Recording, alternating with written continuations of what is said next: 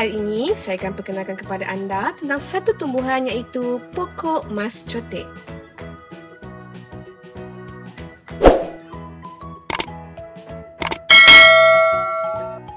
Nama Mas Cotek adalah merupakan nama tempatan yang popular di pantai timur semenanjung Malaysia, di negeri Sabah dan Sarawak, juga Kepulauan Kalimantan. Tumbuhan ini dikenali dengan nama sempit-sempit. Terdapat juga suku kaum di Sabah yang menggelarnya sebagai Agoluran. Di Indonesia, tumbuhan ini dipanggil Tabat Barito. Dan beberapa nama di daerah lain seperti Ara Jelatih, Ara Tunggal, Api-api telinga gajah dan api-api telinga kera. Di Afrika pula, ia dikenali sebagai Kang Kalibang. Walaupun sedemikian, nama Mas Cotek adalah merupakan nama yang paling popular dan dikenali jika dibandingkan dengan nama-nama tempatan yang lain.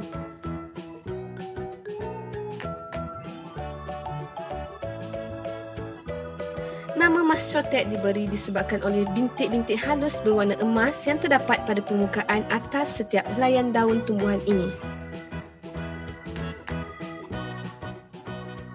Di Malaysia, para saintis telah mengenal pasti bahawa terdapat lebih daripada 80 spesies tumbuhan tergolong di dalam keluarga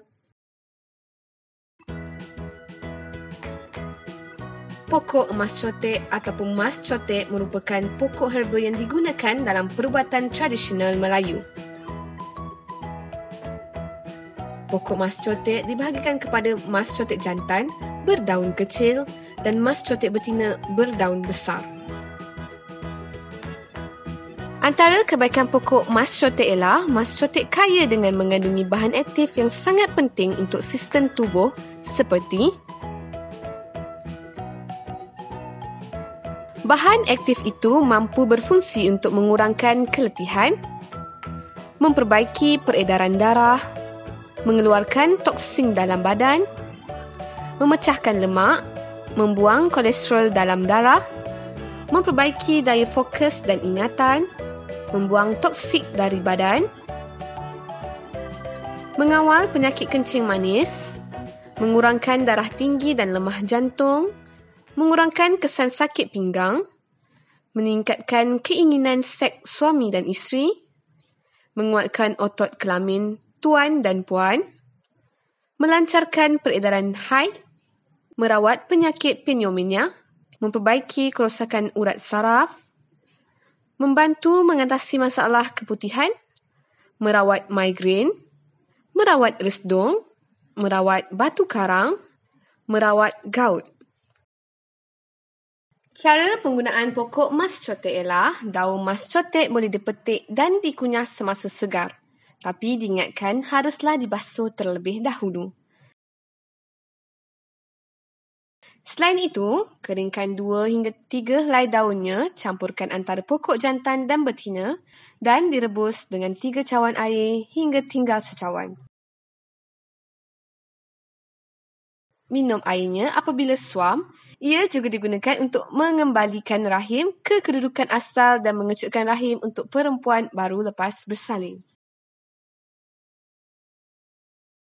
Selain dari daun dan akarnya yang direbus, buahnya juga boleh dimakan sebanyak 3 hingga 5 biji sehari untuk menyihatkan badan. Jadi, marilah kita mengamalkan pokok mas cotek kerana mas cotek kaya dengan mengandungi bahan aktif yang sangat penting untuk sistem tubuh seperti Bahan aktif itu mampu berfungsi untuk mengurangkan keletihan, memperbaiki peredaran darah, mengeluarkan toksin dalam badan, memecahkan lemak, membuang kolesterol dalam darah, memperbaiki daya fokus dan ingatan, membuang toksik dari badan, mengawal penyakit kencing manis, mengurangkan darah tinggi dan lemah jantung, mengurangkan kesan sakit pinggang, meningkatkan keinginan seks suami dan isteri, menguatkan otot kelamin tuan dan puan, melancarkan peredaran haid, merawat penyakit pneumonia, memperbaiki kerosakan urat saraf, membantu mengatasi masalah keputihan, merawat migrain, merawat resdung, merawat batu karang, merawat gout. Inilah perkongsian tentang kebaikan pokok mas cotek.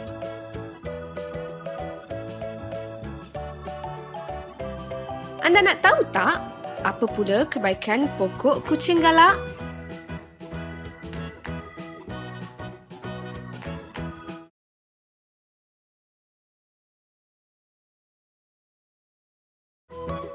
Untuk perkongsian, jom subscribe Herbal DT Channel ini. Kami akan kongsikan pelbagai jenis kebaikan herbal yang lain.